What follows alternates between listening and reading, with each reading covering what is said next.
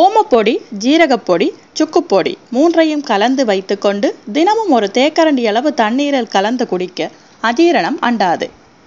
பல்வலி வாய் துர்நாற்றம் போன்ற பிரச்சனைகளுக்கு ஒரு பங்கு லவங்க எண்ணெயும் ஒரு பங்கு ஓம எண்ணெயும் தண்ணீரில் கலந்து வாய் கொப்பளிக்க அவைகள் நீங்கும்.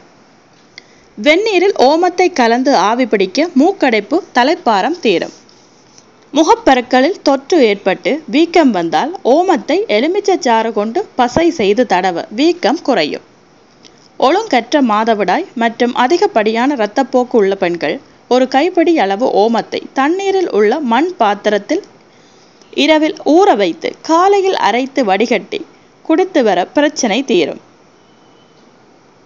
வயிற்று உப்புசம் உள்ளவர்கள் ஒரு தேக்கரண்டி அளவு ஓமத்தை வெள்ளத்துடன் தினமும் அருந்த நல்ல பலன் கிடைக்கும். ஒரு தேக்கரண்டி அளவு ஓமத்தை தண்ணீரில் சேர்த்து நன்கு கொதிக்க வைத்து ஆறியதும் வடிகட்டி இருவேளை குடிக்க சீதபேதி குணமாகும். முகப்பரு தழும்புகளுக்கு தயிர் சேர்த்து ஓம பசையை தழும்புகள் உள்ள இடத்தில் தழுவி வர அவைகள் மறையும். ஒரு தேக்கரண்டி அளவு ஓமத்தை ஒரு பெரிய அளவுள்ள பட்டையையும் தண்ணீர் சேர்த்து கொதிக்க வைத்து நன்கு சுண்டியதும் வடிகட்டி குடிக்க சளி காய்ச்சல் தீரும். இவ்வாறு மூன்று முதல் நான்கு வேளை குடிக்கலாம். ஓமத்தில் இருந்து கிடைக்கும் எண்ணெயை மூட்டு வலிக்கு தடவி வர வலி குறையும்.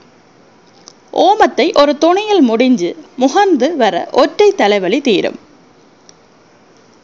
கை கால் நடுக்கம் உள்ளவர்கள் ஓமத்தை சேர்த்து கொதிக்க வைத்த தண்ணீரை அருந்தி வர குணமாகும். மேலும் இது போன்ற குறிப்புகளுக்கு சேனலை சப்ஸ்கிரைப் பண்ணுங்கள் தேங்க்யூ